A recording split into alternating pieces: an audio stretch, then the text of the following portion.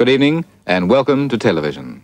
I can remember actually going to a 21st birthday party where we all sat on the floor and watched a little tiny screen because someone in our street had actually got the first black and white TV. It's been a long time coming.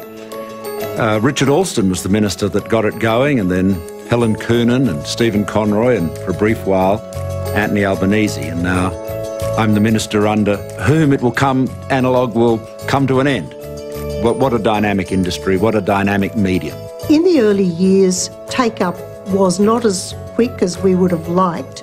And so when I was minister, I understood that there needed to be some significant drivers, and there was legislation to introduce multi channeling, which gave consumers more choice, and a number of other measures, including putting in place Digital Australia. The prospect of touching 8 million Australians' homes and even more importantly, touching their ability to watch the footy, watch the cricket, watch their favourite home and away episode.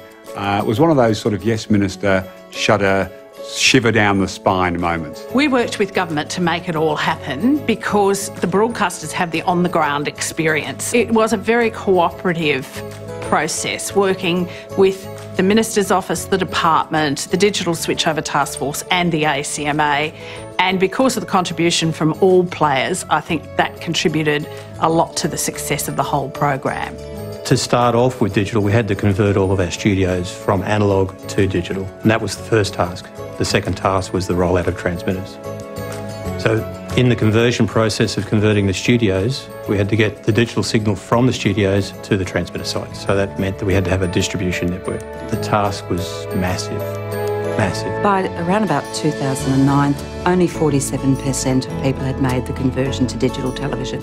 So to really ramp up that process and to deliver uh, in the time frame we needed to, we needed many more programs, much more information flow, and an enormous amount of coordination between us and the broadcasters and local communities as well.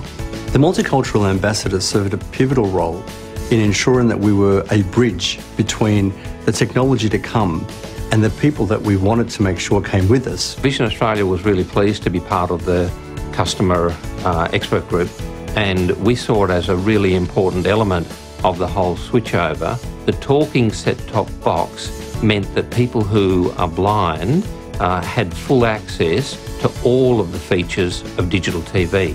So, what free to air television represents and the digital switchover's success represents is another step uh, emphasising the great egalitarian tradition of Australia. You just look in awe at what the technology can do and what it can deliver. So um, it, it's bigger than going from black and white to colour, no doubt.